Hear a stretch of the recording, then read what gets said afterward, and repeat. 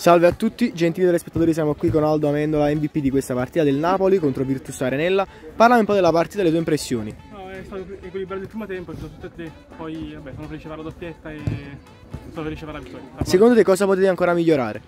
Eh, penso un po' a centrocampo, girare meglio la palla. Spieghiamo troppe occasioni poi. Infine, a chi vuoi dedicare la tua prestazione? Eh, al mio amico Luca. Ok, grazie mille, in bocca al lupo.